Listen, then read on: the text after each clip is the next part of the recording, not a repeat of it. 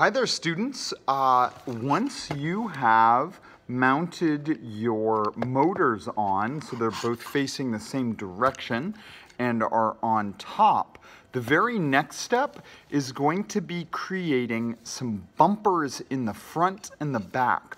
We need something a little shorter than this space that will be in the bottom of the back and the front that will keep it from tilting all the way back or all the way forward.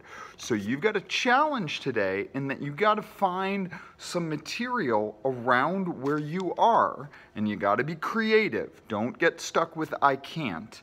Um, got to look around and see what materials you could use for a bumper. Um, looking around my home, I found a couple of options. Uh, I found some uh, caps to some water bottles that are about the right height in there, as you could see. Um, also, we could use some cardboard and fold it back and forth like this. Don't forget that you've got a cardboard saw, that's canary cutter, that you could saw through a strip of cardboard or card or paper, and then you could fold this back and forth to get yourself something of the right height. So I'm gonna try using um, these. If that's too rough right here, you could scrape that back and forth on some cement or concrete outside.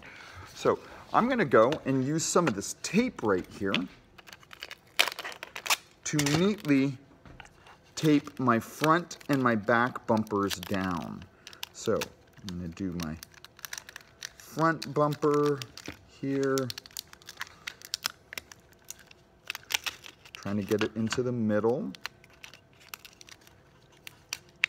Got a little more tape. You want to tape it in a way where you're not going to have to retape this later.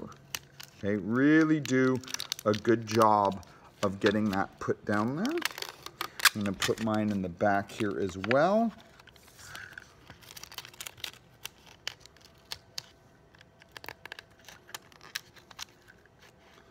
Right, like this.